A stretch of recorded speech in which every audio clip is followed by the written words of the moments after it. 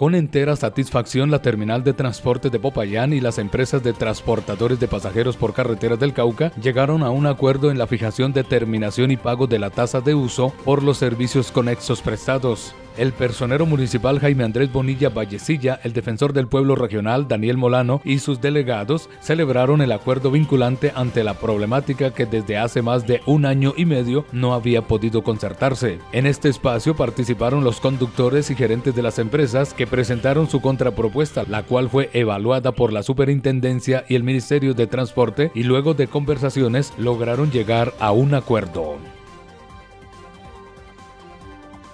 Televidentes de la Vía Noticias, estamos aquí en las instalaciones de la Personería Municipal de Popayán. Se logró la concertación entre el gremio de transportadores y la administración de la terminal de transportes gracias precisamente a lo que ha sido esta labor de la Personería de Popayán con su personero Jaime Andrés Bonilla Vallecilla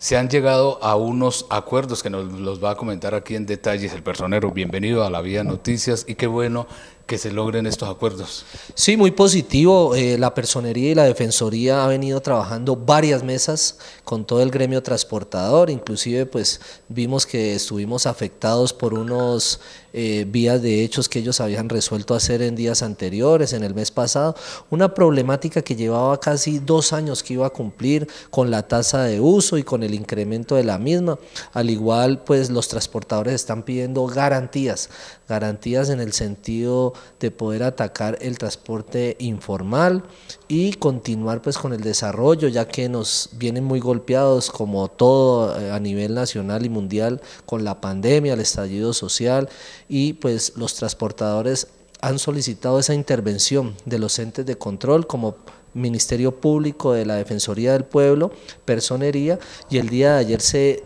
finiquitó estas mesas de concertación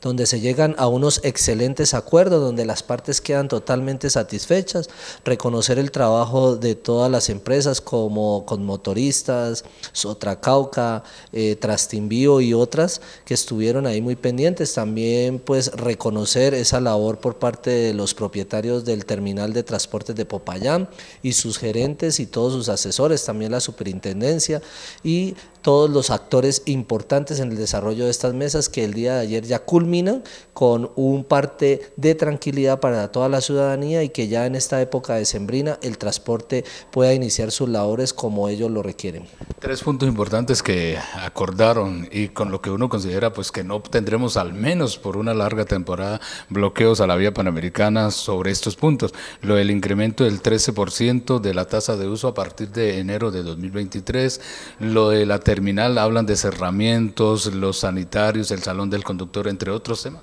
Sí, el incremento es del 13%, como usted lo ha dicho, se estaba en una algo provisional del 50%, o sea, ese aumento va a ser del 65%